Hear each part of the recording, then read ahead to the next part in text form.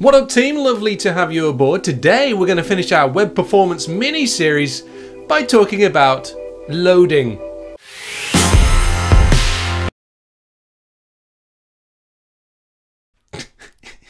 it's because the episode's about loading. It's... Once again, I'm hilarious. Carry on.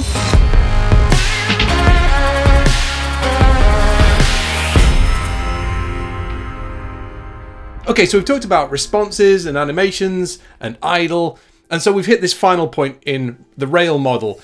And the idea, if you remember, was that we could split our application up into these different phases.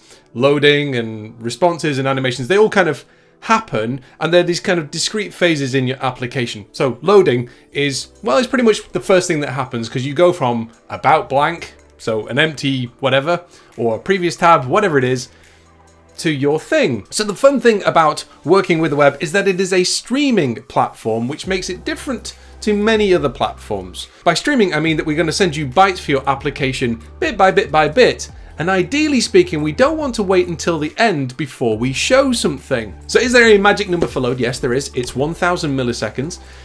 And that's a very difficult thing to meet, especially if you've got uh, HTTPS, which I think most people probably do. Uh, maybe you're on 3G or 2G. It becomes very, very difficult. But we can still optimize towards that goal.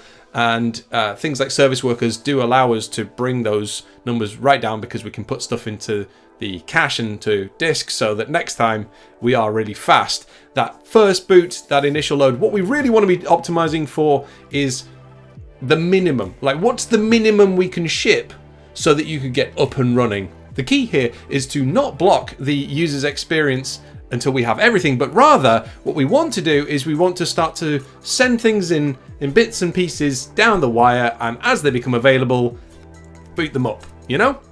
And if you remember from the last video on idle, we actually have a tactic for this using something like intersection observers. So the thing to do is to think in terms of these discrete units, let's call them. I've got a carousel, I've got video player, I've got lazy loading images, all that good stuff. But they don't all need to load at once, and you'll have different requirements on what needs to load and when and so on, blah, blah, blah, blah, blah. So, what we need to do is we need to come up with a mechanism that actually breaks our components into two parts. There's the kind of booting, getting ready, and then there's the, aha, now is my time to shine moment. So what I've got on screen is an example of a component, a lazy load uh, image component, which is going to wait until uh, the element is on screen before it actually loads and crossfades the image in. And so to show this, I have a few images in the page and I've also switched off caching just so that we are forced to load the image every time. And over here, I've throttled down to fast 3G just because these images are going to come from my disk and Otherwise, you wouldn't see what I'm talking about. So what we do, I'll show you what it actually does first. Uh, if I just refresh the page, you'll see we get these sort of loaders and then boop, as the images are available, they crossfade in. Now there are two images further down the page. Watch happens when I scroll. There's image three and image four being requested. So if you didn't notice them, they were requested here, image three and image four. I'll do it again. In fact, let me just show you, uh, if I refresh the page when I'm part scrolled, like down at the bottom here, we're going to get images 3 and 4. Because those are the ones that are on screen right now. Those are the components that are ready to roll. The other two, images 1 and 2, if I scroll up slowly, here comes boop, image 2 and image 1. So imagine, for example, one of these was your comments component. Doesn't need to be booted when the page boots. We can wait until it's on screen or even a user clicks a button and then we can go and boot the element. So how do we go about doing something like this? Well, for that, let's turn to our code. So I have uh, the code here for the lazy image first of all.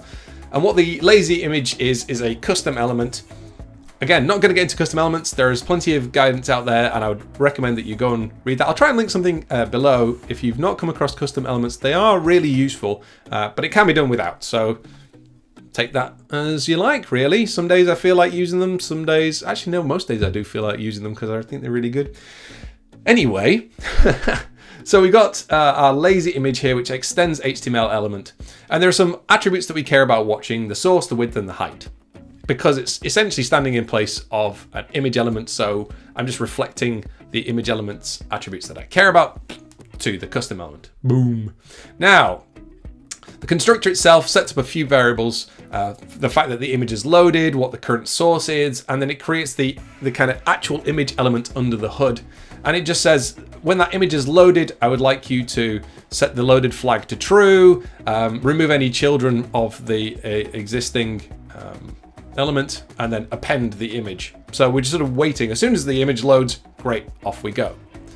So that's that happens in the constructor. So as soon as we make a lazy image, like this gets set up, but you'll notice that we don't set the source of the image particularly at this point, because that would trigger the image being fetched and uh, put into the page and everything else. Don't want to do that right now. All we're doing is kind of doing this sort of setup work and then kind of deferring the actual booting until some other point in the future. So the other thing that's part of this is the attributes changing. So for example, when the source changes or the width changes or the height changes, and I just use those to, again, store values. I don't really do anything particularly with them. Although in the case of width and height, there is something that I do, which is I reserve the space. One of the caveats of doing something like a progressive booting is that you want to avoid the situation where the page kind of moves around that's the international sign for moving around. I don't know what I'm doing. But we're doing it anyway. Imagine the situation where we've got these images in place, but they haven't loaded yet. Well, we want to, where we can, reserve space for them. So for example, if you've got a lazy loading carousel, ideally you want to reserve the space for that carousel so that when it loads in, it doesn't pop, make the page move around. Nobody enjoys that. There are loads of ways to do it. Grid is one of them, reserving space, in this case by sort of JavaScripty type means where we just use the styles and just, that's my size. There are loads of ways to do it, but what I would encourage you to do is think about, okay, as part of my sort of setup for this element, I need to reserve space for it because I know its contents aren't there, but I want to reserve the space for it so that when its contents arrive, off we go. Now, you might say, well, I don't know the size of this element. It It's not clear to me how big this element is going to be. Well, there are no easy answers there. If you don't know how big an element's going to be, it's pretty challenging. But I would say for those that you do know, definitely try and get those in to try and minimize this.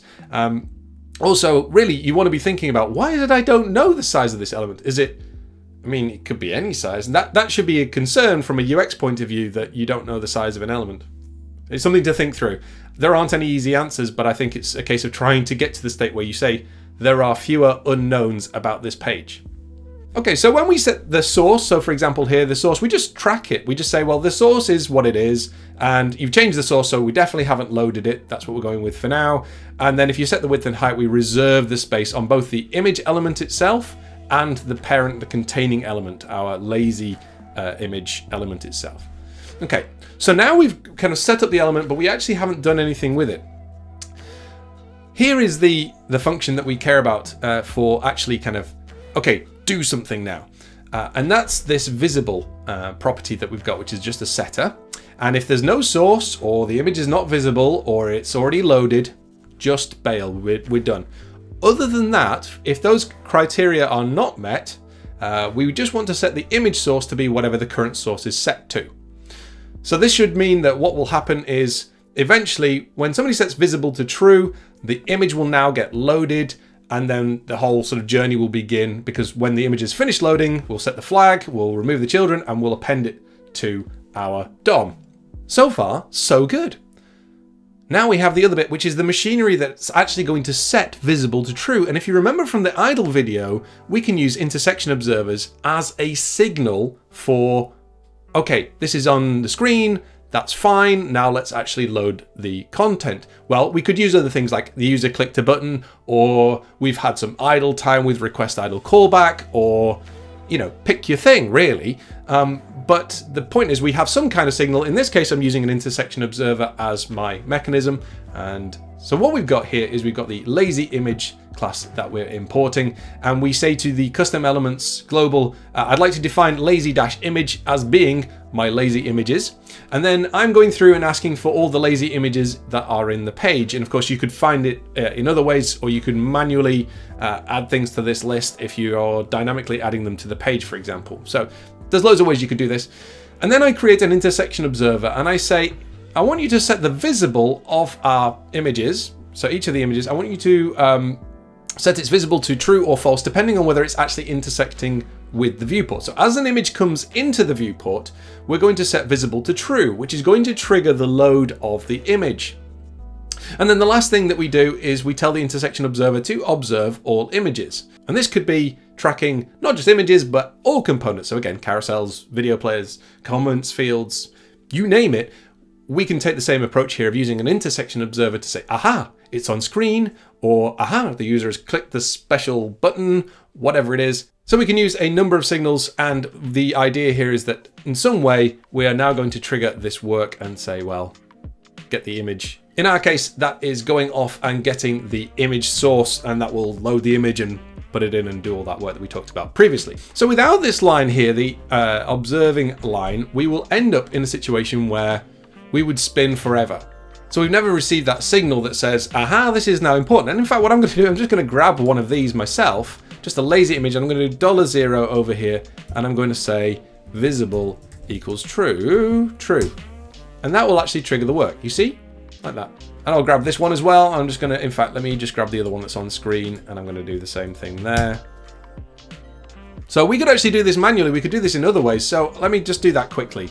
Um, let me see. Yes. What I'm going to do is I'm going to say image on click. And I'm doing this in a very quick... Um, at least needs to go inside the for loop, Paul. Yes, it does. Um, I'm going to just say uh, image dot la la la visible equals true. So there are other ways, as I say, there are other ways to do this. So we've got our lazy images. I'm going to click on this one, and hopefully, there you go, it loads. So yeah, we can make it so it clicks. In our case, what I'm doing is I'm using the uh, the observe as a thing. But we could do click. We could also grab this over here and just say, hey, you know what? If you've got some idle time, then also go ahead. So we'll just say if on screen or clicked. I can't spell apparently. Uh, or there is idle time. So the broad idea is that you've got these two passes. The first is the setup of the component, and the second is, okay, now do the work. And we want to do that when there's some notion of user-driven kind of importance, whether that's it, they've scrolled and it's on screen, or it's, you know, they've clicked it, or it's that there's some idle time, so we could just go off and, you know, do the work. And so back here on screen, this results in the case where we're going to get all four immediately requested because the idle time is the first thing that kicked in, and that's as it is. Now, we're requesting all of those at the same time here because we've gone one, two, three, four, in this case, two, three, four, one, because there's just been some idle time, they've been requested, it's all good. What you might want to do is you might want to set up a queue so that there's some kind of definitive order so that you're saying, no, no, no, always get the masthead first then get the comments, then get this, then get that. You can see hopefully how you can just build on this idea. Key thing, don't boot everything at once, spread your booting out and try and prioritize so that the important things come first. So there's loads more to say about all this kind of stuff and far more than I can fit into this video, but I wanted to share just a little bit about how you can think about particularly the progressive booting story. There's content I'm going to link below, which is Udacity courses and documentation and anything that I can think of between now and getting this video live. Uh, so go off and have a read of that kind of stuff. I hope you've enjoyed this video. Subscribe if you haven't already. Give it a thumbs up. Ring the notification bell if that's something you're into. And I will catch you lovely folk on the flip side.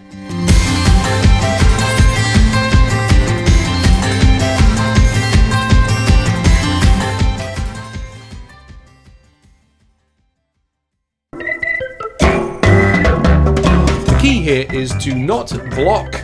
Uh, but the key here is until. Whatever.